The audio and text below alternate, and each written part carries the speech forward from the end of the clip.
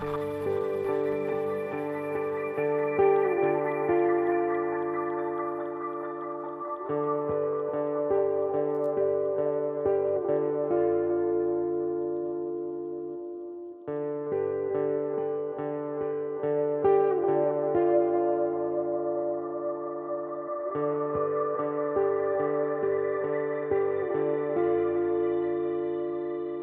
never expected to get to this level ever.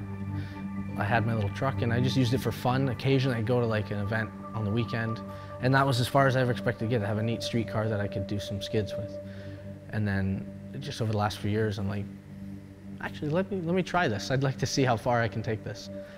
I've always had a passion for driving, but I just never thought it could actually get to where I am now. It's like dream come true, basically.